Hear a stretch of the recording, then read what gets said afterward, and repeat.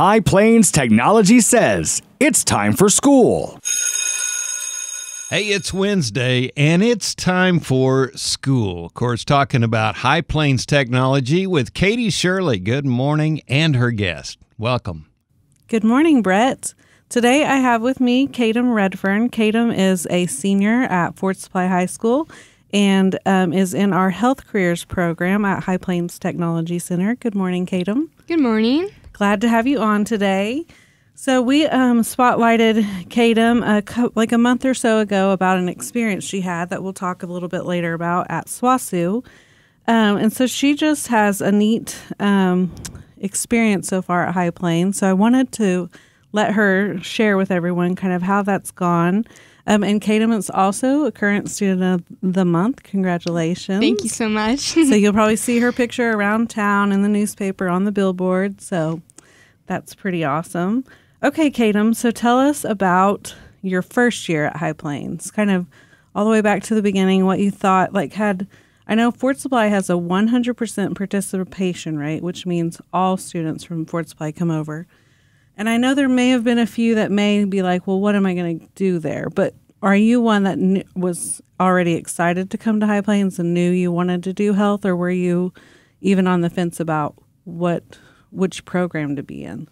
Um, I would actually have to say I was pretty on the fence about it. And at Fort Supply, they have it where there's about three options. You can do concurrent, um, which is where you take your college classes early, or you can go to High Plains. And mm-hmm. then they have a dual option where you can do both, and then you just do that concurrent in your free time. So it's actually really cool that um, all of those, like the 100%. Right. rate of students coming is by choice, so that's good to that's pretty that. fun. Um, but so I was a little bit on the fence um, on what exact program I wanted mm-hmm. to go into. I was actually considering multimedia because right. um, I'm very interested in the arts and such. But uh, I had always talked with my dad about going into the health careers field, and I was a little bit scared about the fact that it's an interview process. Right, but to get into the I program. thought that I might as well, you know, I, I better put myself out there and try. And then um, luckily I was able to get into the program. Yes. Very thankful for that opportunity.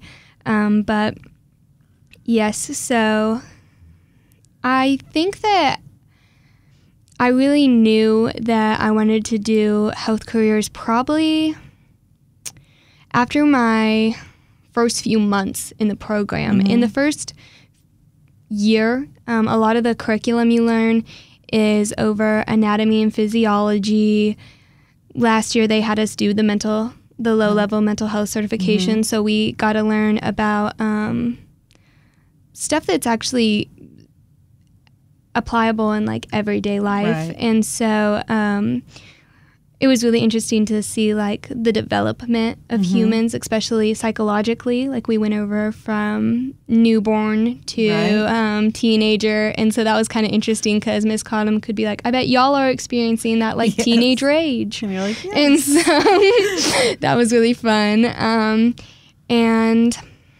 so and then you get to build a mannequin, which was really right, fun because the then mannequins. That's a big deal and a big process. Is that you work on that? Do they work on them almost all year? Mm, uh, they get started around now or after Christmas? I believe about after Christmas, but it's quite a month long process because Miss Cottom really makes sure to go into depth of wow. what exactly you're doing because you build. Um, basically a person mm-hmm. from the ground up. So you do the muscles, the nerve endings, um, you're able to pin, uh, pinpoint specific locations, and then you get to add the skin. You build the eyes. Um, wow. It's also Miss Cottom and Miss McVicker teach you things in such a way that you can remember them, even mm-hmm. if you do not think you can. Like I can still remember like. Um, your masseter muscle, right. um, which is in your face because like Miss Cottom would always make sure to demonstrate by like giving you a right. huge smile. That that's so. incredible of instructors because that's the main key is you want to retain what you're learning. So that that's awesome to hear. They are great.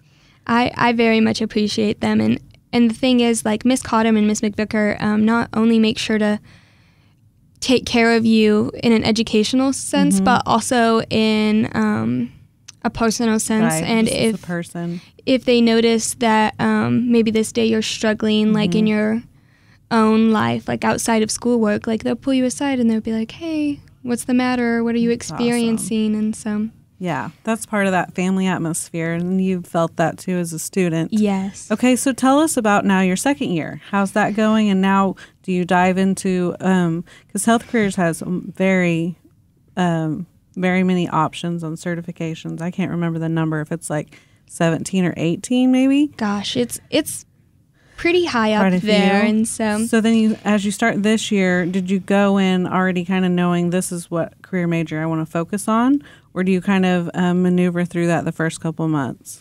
So usually you have um, narrowed down what exact career you want to go into by uh, your the first of your second year because that's when you start on your workbooks and depending on which career major you choose depends on how much um, work you have to get through. Like I know multiple people who will get dual certification Right. because they were able to finish X amount of textbooks. So you have multiple students who are doing medical assisting and phlebotomy just because um, they knew that they would be able to get that finished by pace their that they're they're working at. graduation. Okay.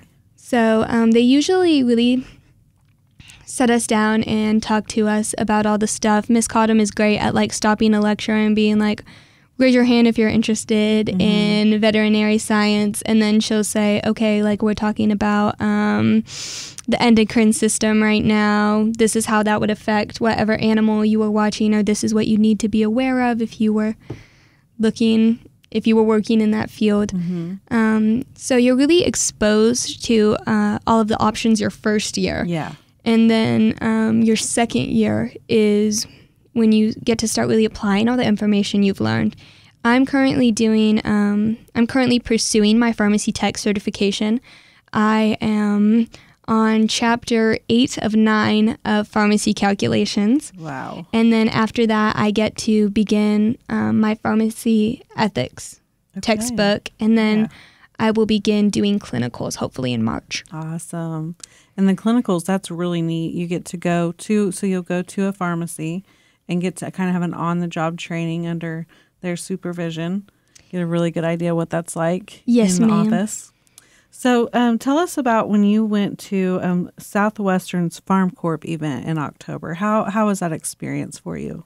So that was actually um, really great to just be able to apply all of the stuff that I'd learned and see how that would transfer into an actual pharmacy setting even before doing my clinicals. Because right now, where I am in my books, it's really just me sitting at a desk and um, reading textbooks and checking my answers. So as confident as I am in like my assignments, Right. it's a little bit um, different than if I was to be doing it in a real life scenario. Yeah. So then when I got to go to Farm Corp, they simulate uh, simulated a lot of scenarios that you would have to experience in the pharmacy field, and I was able to understand. And I'd say that I had a bit of an easier time than the other students because I was already understanding some of the things that they were asking of us, Right. specifically like the symbols yeah. that you have as a pharmacist. So, like, I know that um, two tablets,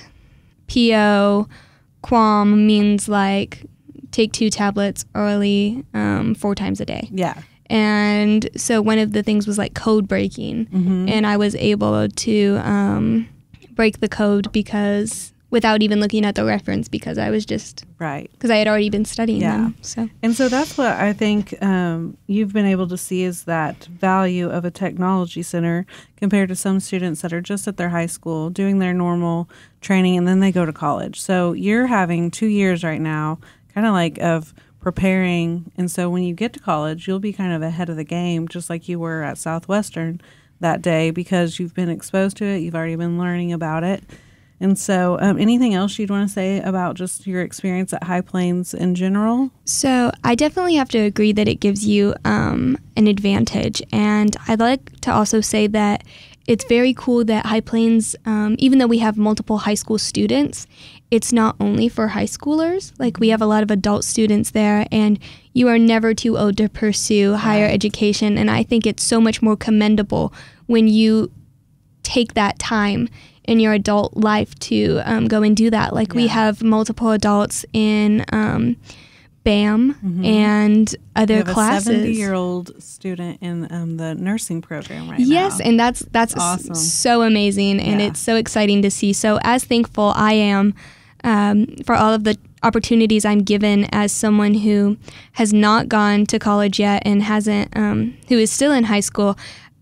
It's so cool to know that there's um, an opportunity for any age group, Right. and um, I'm just so thankful that I was able to have that opportunity, and that's that's an opportunity that many people can have. Yeah. Um, and so, like to thank the taxpayers for that because Take advantage of them. Yes. Of your tax dollars and come come out to High Plains and see how we can help you. So, Katum, your next step after um, High Plains, what's your future plans now? so I am planning on getting my um, pharmacy tech certification and then pursuing my full um, a doctorate in pharmacy. Awesome. And so I'm going to Southwestern, and then um, I'm going to do my two years of pre pharmacy. And then I'm going to apply to the pharmacy college at SWOSU, where I can hopefully then get my full pharmacy degree. And so I can work as um, a pharmacist.